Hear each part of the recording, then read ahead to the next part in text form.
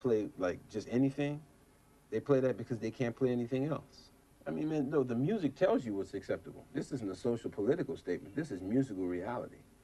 The music, to, to the real musician, the music tells you what you can play. You know, and all this bullshit about what you feel, that's all moot, man. Because, you know, when you hear a song, the song tells you what's available. When I'm playing with Sting, the song tells me what is available. Sting doesn't have to tell me. The song tells me. Sunshine, take the second C chorus. Cry, just jam. Okay. Do what you Roxanne, just jam.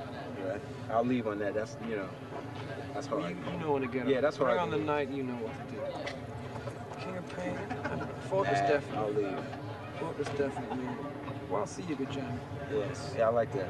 I did that one time. Well, Soul Cages, we end with we chord in a silent way, Ah, and it's an F sharp.